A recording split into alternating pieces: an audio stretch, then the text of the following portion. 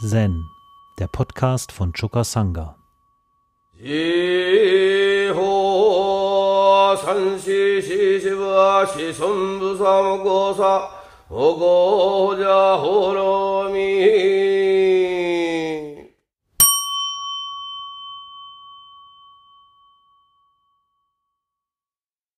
Das Beispiel, von dem ich heute ausgehen möchte, befindet sich im Hekigan Roku, Fall 80. Joschus ein neugeborenes Baby. Ein Mönch fragte Joschu, besitzt ein neugeborenes Baby die sechs Sinne oder nicht? Joschu antwortete,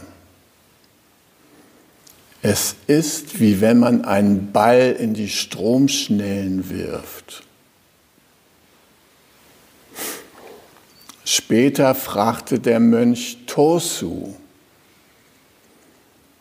was bedeutet das, einen Ball in die Stromschnellen zu werfen?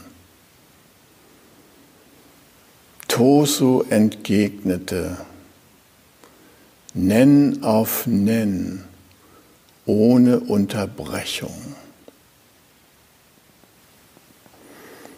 Und Setscho kommentiert in seinem Gedicht die Frage, die sechs Sinne absichtslos. Sie kennen das gut, die Meister. Ein Ball wird in die Stromschnellen geworfen. Weißt du, wohin es ihn treibt?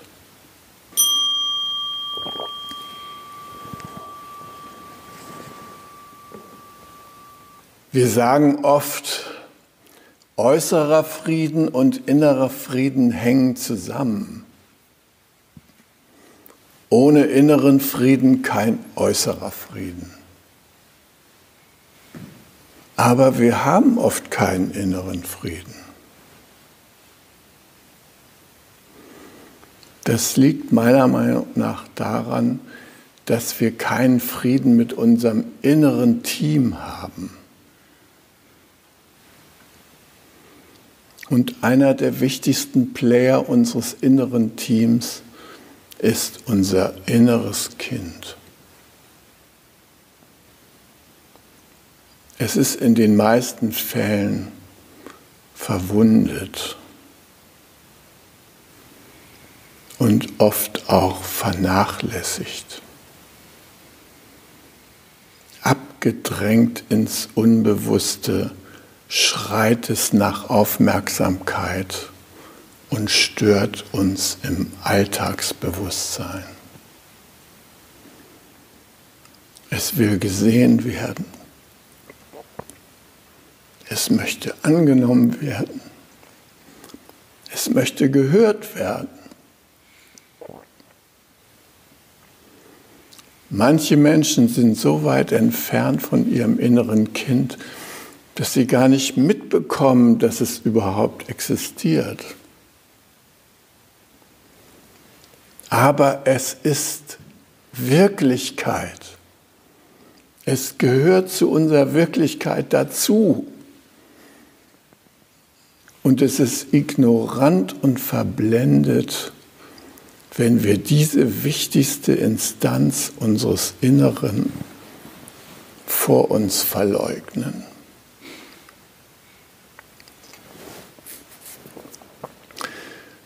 Mein Stiefvater und meine Großmutter waren beide Psychotherapeuten.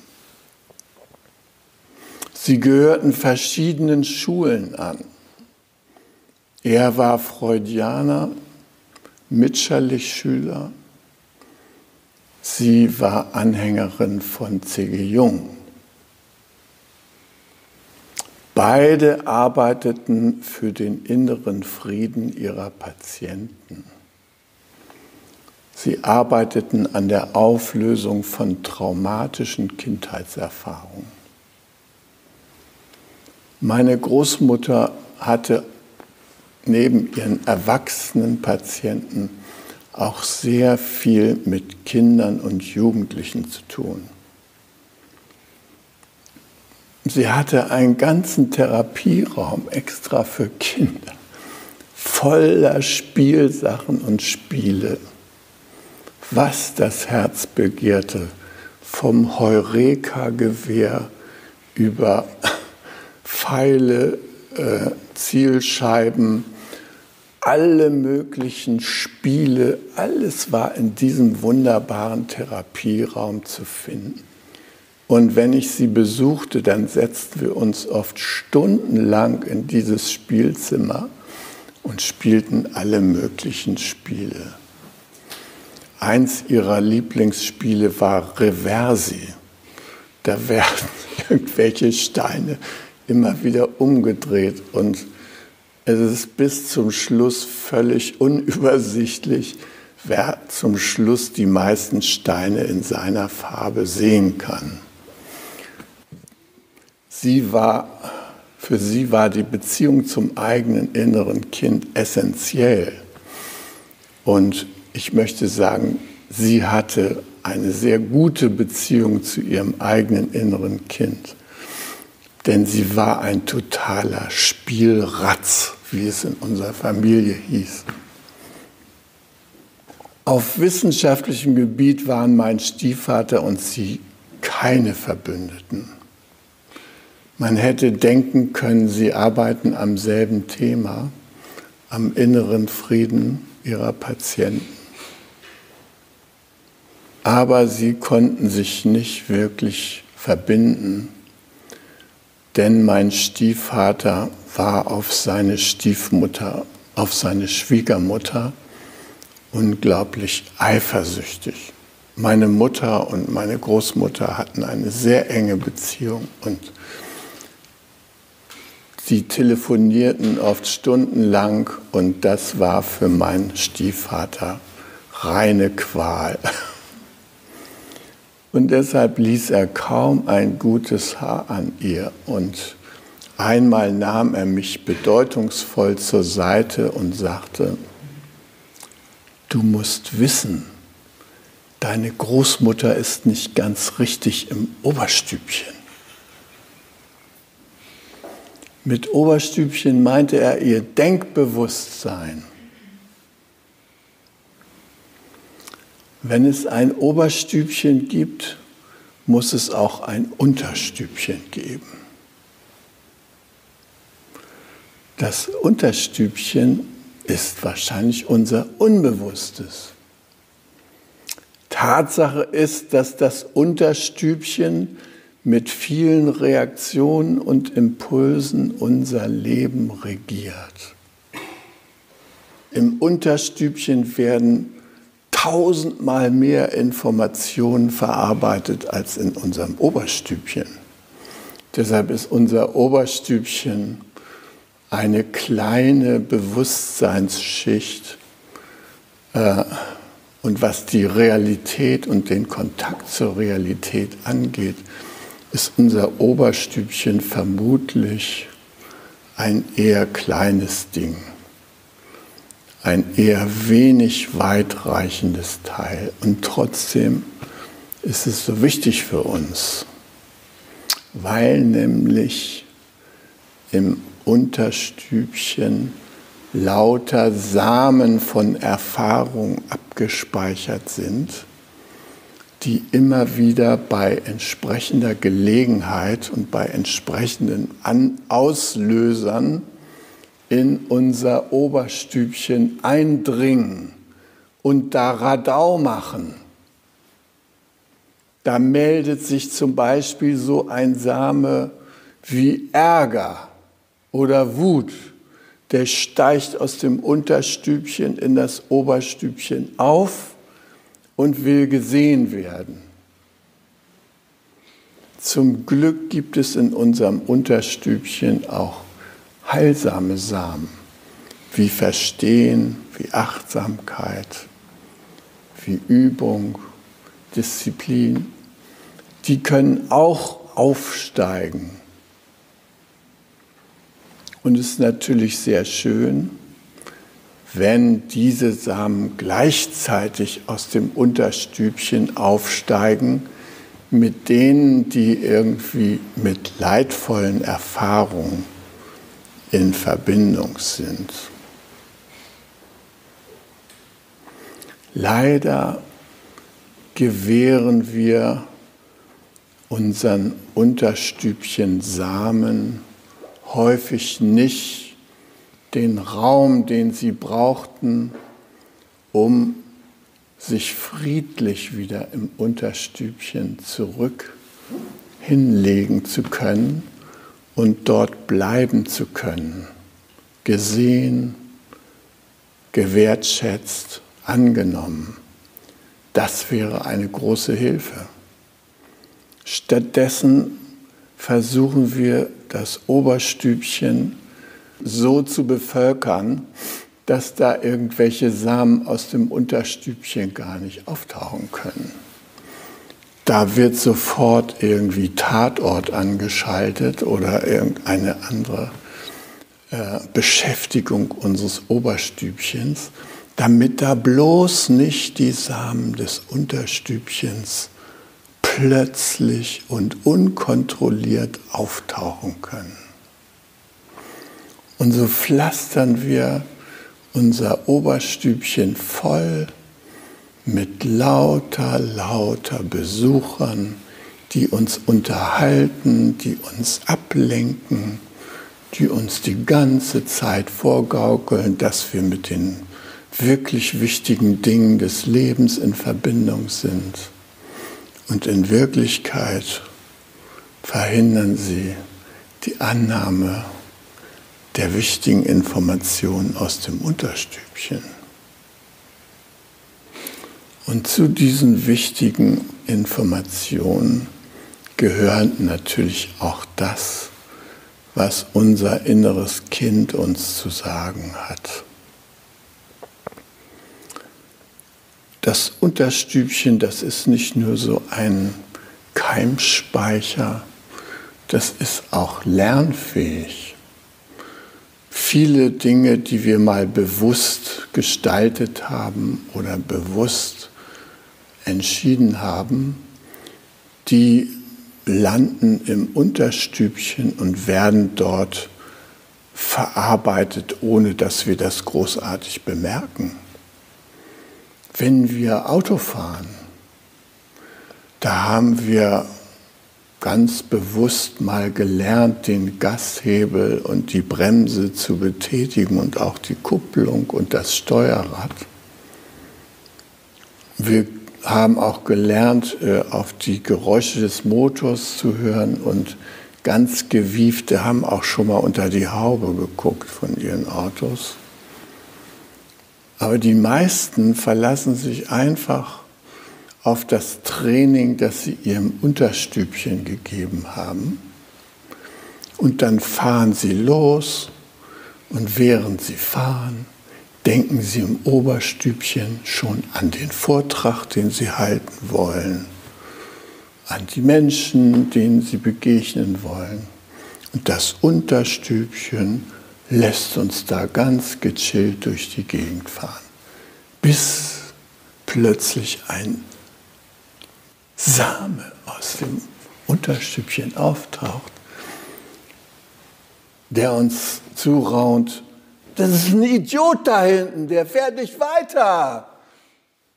So, dann sind wir wieder mit dem Unterstübchen verbunden und dann haben wir die Wahl. Reagieren wir oder atmen wir? Wenn es uns gelingt, drei Atemzüge zu machen, dann haben wir die Möglichkeit, diesen Samen des Unterstübchens in unserem Oberstübchen zu verarbeiten, anzunehmen, uns zu entspannen, in die Achtsamkeit zu gehen und mit ihm zu sein. Das ist jetzt ja nur so ein kleiner Fall, der im Verkehr halt auftritt. Wo man manchmal ganz automatisch an die Stirn tippt, sich hinterher wieder fragt, wem hat das eigentlich gegolten? Dem silbernen BMW. Und wer saß da drin? Das Universum oder wer?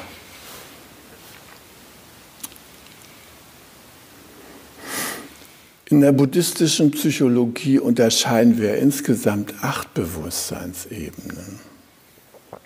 Da sind diese sechs empirischen Bewusstseine.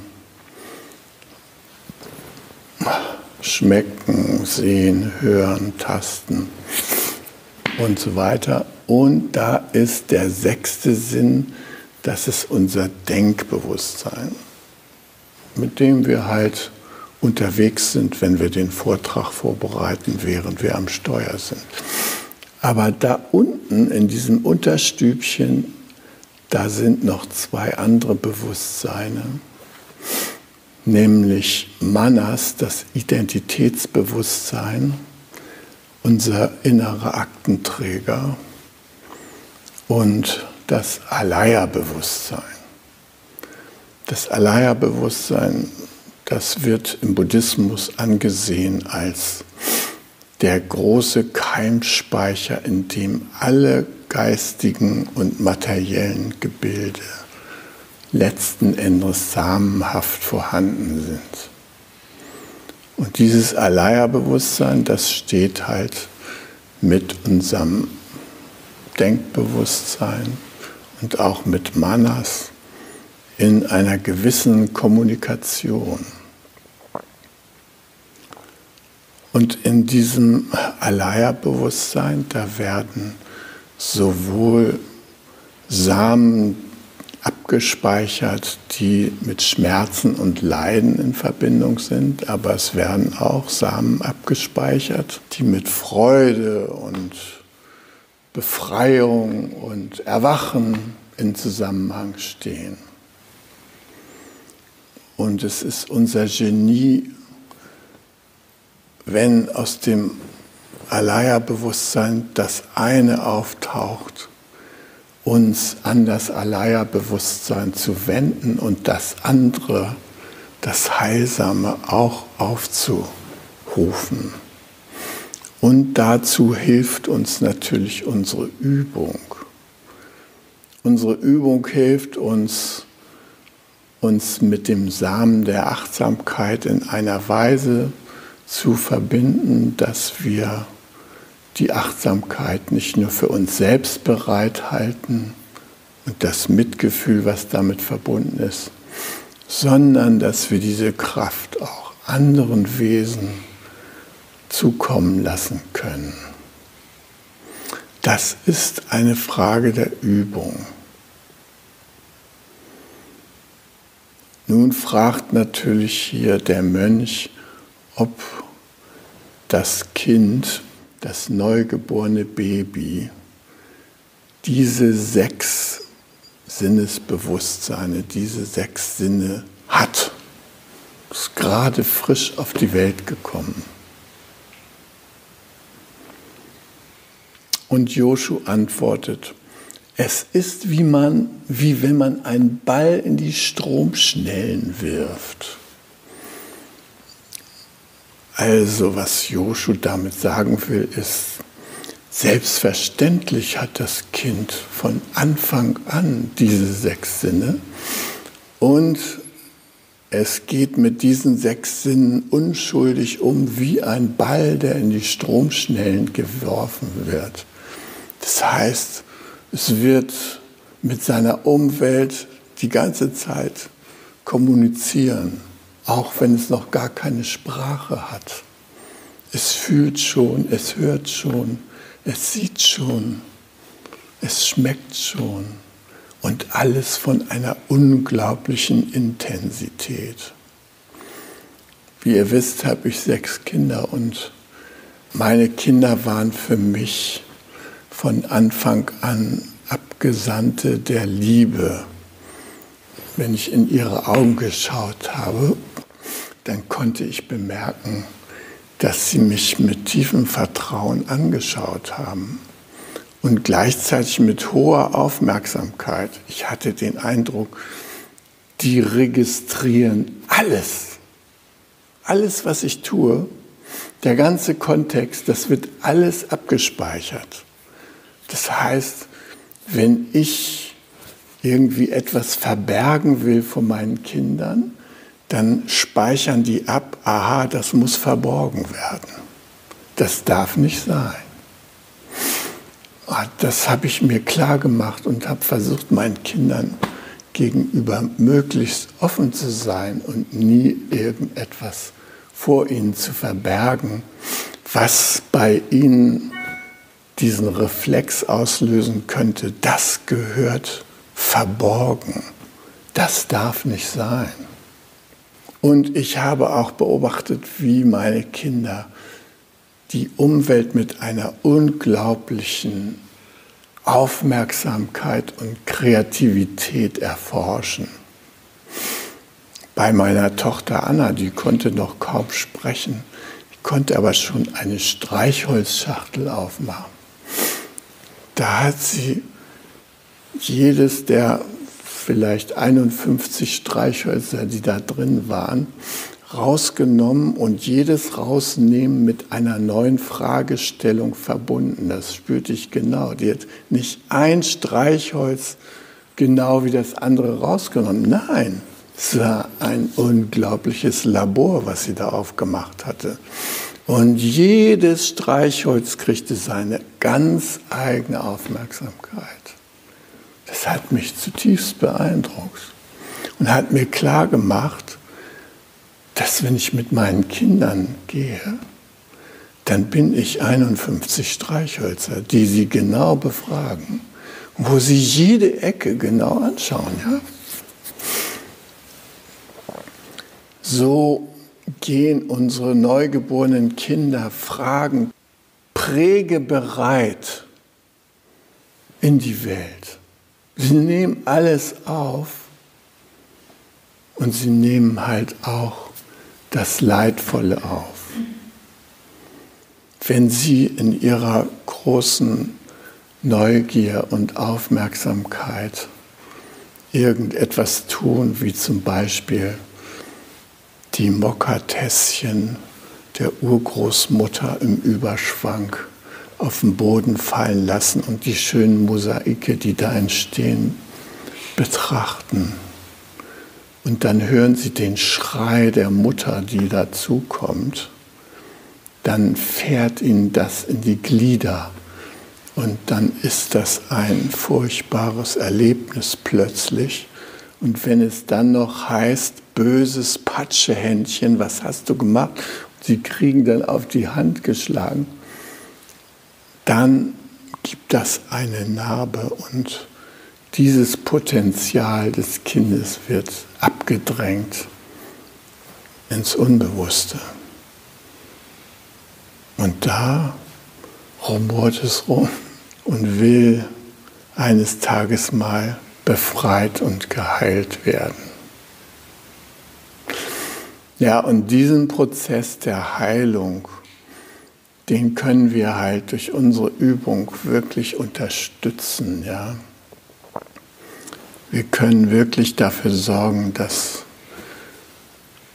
was da aus dem Unterstübchen hervortreten will, dass das wirklich liebevoll in Empfang genommen wird. Ich habe im Laufe meiner Tätigkeit als Mediationslehrer immer wieder Übung zu dem inneren Kind gemacht, dem Thema inneres Kind.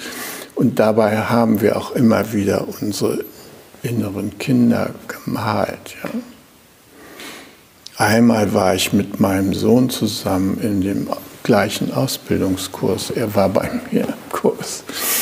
Wir haben jeder ein Bild gemalt von unserem inneren Kind und ich war einerseits fasziniert, andererseits bedrückt, wie mein Sohn sein inneres Kind gemalt hat. Ja das saß da einsam auf so einem Bootssteg und schaute in die Weite und ich konnte sehen, dass ihm da irgendwas schwer war. Und ähm, ich habe auch viele innere Bilder gemalt, also Bilder von meinen inneren Kindern. Mal habe ich sie gesehen als äh, geborgen in den Armen der Mutter, also mich selbst. Mal habe ich das erlebt, dass ich ähm, in ein Fass eingesperrt war und nicht raus konnte. Mal habe ich es gesehen als kleiner Junge, der irgendwie in die weite Welt hinausgeht, wie Hänschen klein, aber sich noch immer umguckt, Hilfe suchend nach seiner Mutter. Mal habe ich es gesehen als drachensteigenden kleinen Jungen, der mit seinen Drachen gen Himmel schaut und seinen Drachen dort sieht. Und ich habe übrigens als Kind, so mit 10, 11 Jahren, auch gerne große Drachen gebaut, die man damals noch mit Papier baute. Ja.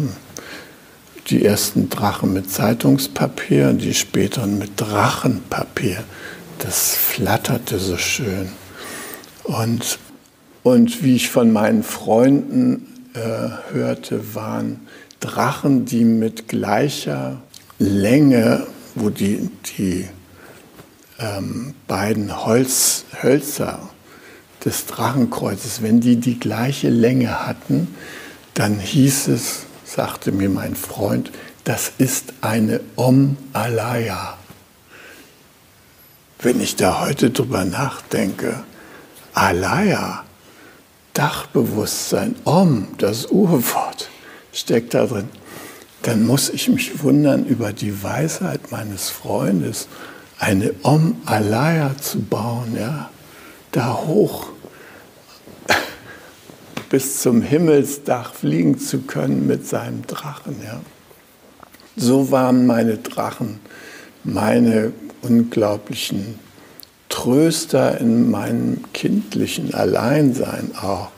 Ich konnte stundenlang die steigen lassen und äh, habe die interessantesten Erlebnisse gehabt, dass der Drache oben stand, die Schnur gerade runterhing und der nur von der Thermik getragen da rumschwebte, wie die Bussarde und andere Vögel, die das ausnutzen. Ja?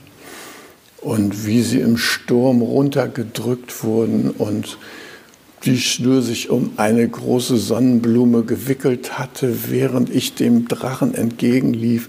Und dann riss er mit voller Wucht die Sonnenblume aus dem Garten, wo der gerade geschwebt hatte, nach oben und, oh, und ich sah die große Hochspannungsleitung und ließ alles los, um keinen Schlag zu bekommen.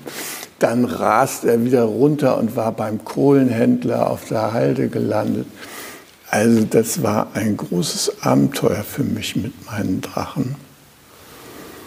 Und mich freut, dass mein jüngster Enkel sich von mir auch einen Unterwasserdrachen von Lego wünscht. Ich meine, ist natürlich ein bisschen kleiner als Om Alaya. Om Alaya hatte 2,40 Meter Spannweite, passte gerade diagonal gestellt durch die Kellertür. Ja?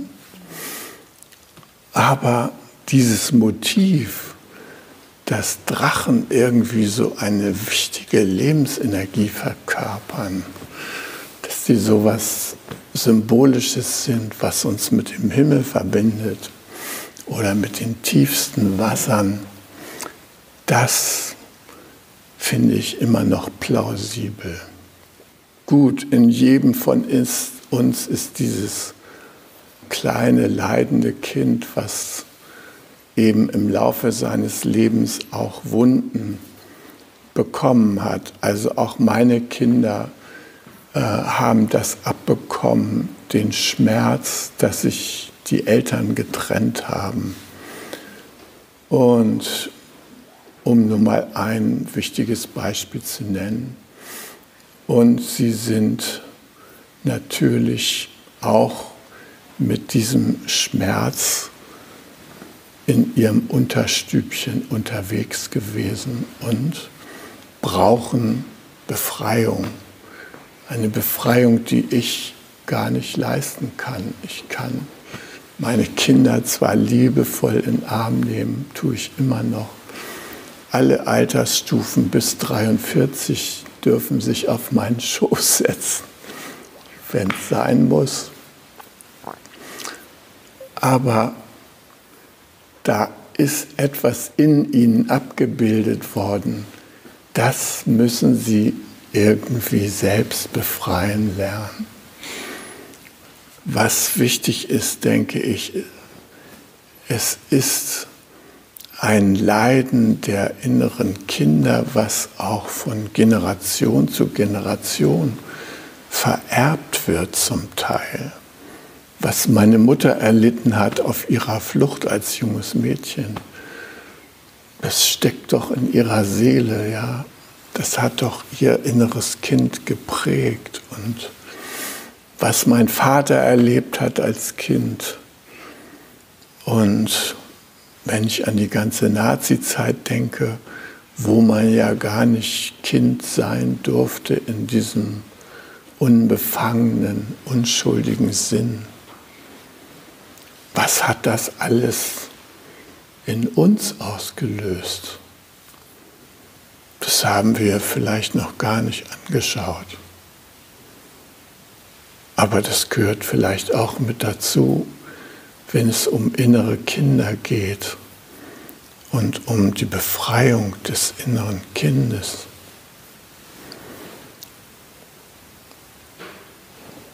Ich glaube, dass es sehr wichtig ist, den inneren Kindern unserer Eltern, aber auch unserem eigenen inneren Kind zum Beispiel zu, äh, zu begegnen mit dem Satz aus dem Ho'oponopono. Ich liebe dich, ich danke dir, es tut mir leid, ich bitte um Vergebung und ich vergebe mir selbst. Diese Übung können wir eigentlich mehrmals täglich wiederholen, bis sich unser inneres Kind wieder mit seiner ursprünglichen Fröhlichkeit heraustraut ins Leben, bis es uns an die Hand nimmt nachdem wir es an die Hand genommen haben und nachdem wir mit ihm auf Wanderung gegangen sind und nachdem wir auf den hohen Berg gestiegen sind und ihm das schöne Tal gezeigt haben, wo wir beide sitzen. Ich denke mir, wenn es uns gelingt, diesen Kummer des inneren Kindes wirklich anzunehmen und zu umarmen. Und das wirklich mit großem Ernst tun, dass wir dann unsere Beziehung in gewisser Weise befreien können. Dass wir viel entspannter mit anderen Menschen sein können weil wir unserem inneren Kind schon Frieden geschenkt haben. Unsere inneren Kinder sind manchmal dermaßen verlassen, dass die gar keine Freude mehr haben am Leben, dass sie denken, sie müssen sich umbringen.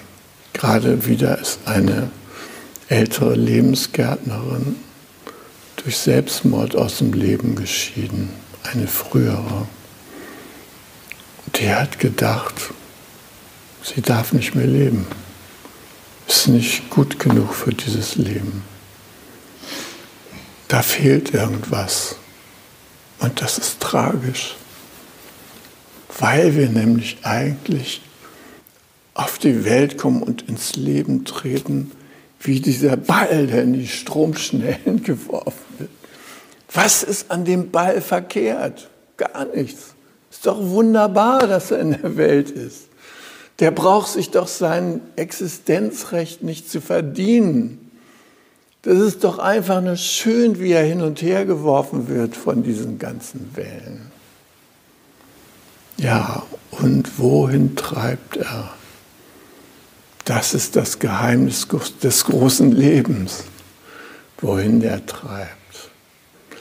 Und wenn es uns gelingt, diese Unschuld in unseren inneren Kindern wieder zu befreien, und dazu haben wir auch als Zen-Übende Möglichkeiten, ja, dann können wir wie Joshu und Tosu da sein und sagen, es ist wie wenn man einen Ball in die Stromschnellen wirft. Ja. So leben die beiden alten Zen-Meister da auch.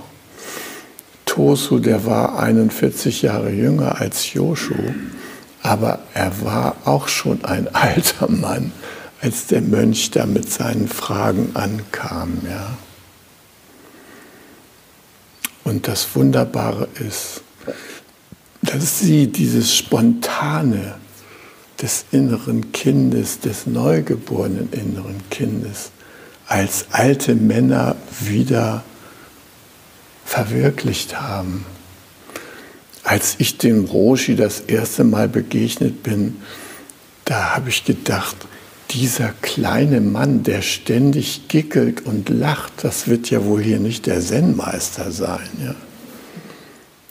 Er war das. Er war so ein fröhlicher Mensch der konnte über alles Mögliche lachen und sich freuen und gickeln und ja, nichts von äh, Autorität gebietendes Stirnrunzeln, gar nichts. Seine Augen waren immer total lebendig. Klaus hat ihn ja auch gesehen.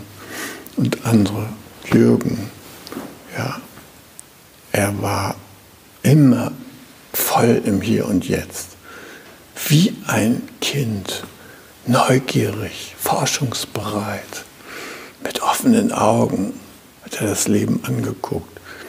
Unsere Wertvorstellungen und Konzepte, die hat er mit kindlichem Blick durchschaut, gnädig da sein lassen, ohne sie zu kommentieren und beurt zu beurteilen. Und hat den sein eigenes wunderbares, kindliches, lebendiges Wesen entgegengestellt. Und das wünsche ich uns auch, dass wir diese Fähigkeit uns zurückerobern. Es ist ja ein Wiedererlangen von etwas, wenn wir die vielen Narben und Wunden, die unser inneres Kind sich zugezogen hat, wenn wir die mit Achtsamkeit und tiefem Verstehen geheilt haben, dann haben wir die Chance, auch wieder so lebendig und fröhlich zu gucken, wie ich das bei unserem Roshi erlebt habe. Mit 80 Jahren. Hi! Um jungen Menschen den Aufenthalt im Togenji zu ermöglichen, bitten wir um ihre Spende. Alle Spendenmöglichkeiten finden Sie auf chukasanga.de/spenden.